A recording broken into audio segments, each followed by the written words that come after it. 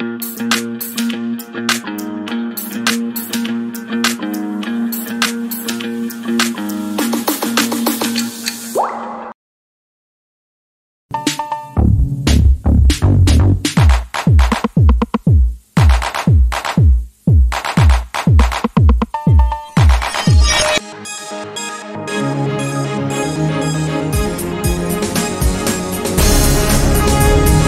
Uganda, we have registered a very deadly disease that has killed more than 2,287 people in the Democratic Republic of Congo in a period of just one and a half years. And the current situation is that the body is isolated in the mortuary, waiting to be buried by the medical team. Welcome to the latest stories making headlines in the country. My name is Melads Milo, aka Fuller. Don't forget to subscribe and also tap on the bell for all the notifications. Now, before I take you to that story, Sipapa's mother-in-law is currently being detained at Kabalagala police station on allegations of hiding some of the stolen exhibits at her home. The development has been confirmed to the media by Uganda police. It's reported that police officers found her at the shop where she works and took her to home to carry out investigations. Upon searching her home, police discovered that she was in possession of some of the stolen items that Sipapa and the wife Shamira were arrested for. The items are said to have been handed to her by Sipapa's wife, that is Shamira, before she was arrested. Well, relatedly, Sipapa and his wife Shamira appeared before Makindye Magistrates Court on charges of aggravated robbery and they were further remanded. They will return to court on the 10th of October next month.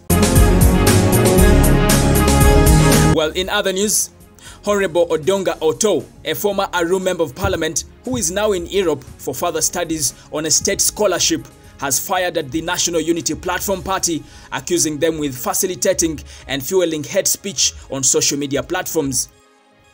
Now, in his own words, he said the level of hate speech, hate post, and uh, hatred being exhibited by NUP on social media is too much.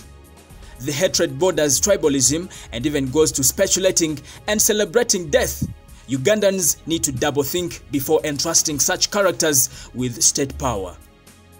However, a big section of his followers have requested him to look into the circumstances that have driven the opposition youths into being toxic on social media. Many people suggested that government locked all avenues of dissenting opinions and therefore social media remains the only space people can express their feelings towards President Museveni's government. Well, in other news, NTV Uganda's Faridah Nakazibwe has cautioned people to stop asking others, especially women, when and why they haven't given birth. This is after she interviewed radio personality Shine Omuchiga. Now, in her own words, she said, Stop asking people why they haven't given birth. Many women are struggling with infertility and other complications. While appearing on Mwasuze Mutya program, Shine Omuchiga told her story, which left very many people shocked. She revealed that the miscarriages she had before giving birth were actually more than 19. Well, in other news, the Ministry of Health has announced the outbreak of Ebola virus disease in Mubende district. Permanent Secretary Dr. Diana Atwine told journalists that a sample tested by the Uganda Virus Research Institute identified the case as a Sudan strain. This is the first time in more than a decade that Uganda is recording the Ebola Sudan strain. The press conference was held at the Ministry of Health headquarters right here in Kampala. This is to notify you about a confirmed Ebola outbreak in Mubende district. On the 15th of September 2022, one suspected case of viral hemorrhagic fever was identified and isolated in Mubende Regional Referral Hospital. The patient was a 24-year-old male who lived in Ngabano village of Madudu sub-county in Mubende district.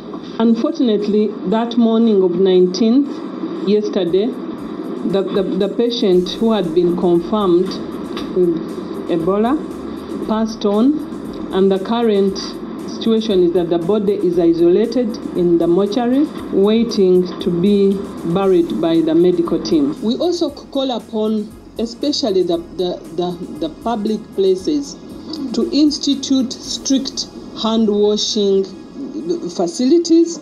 We all know that Ebola spreads through body fluid.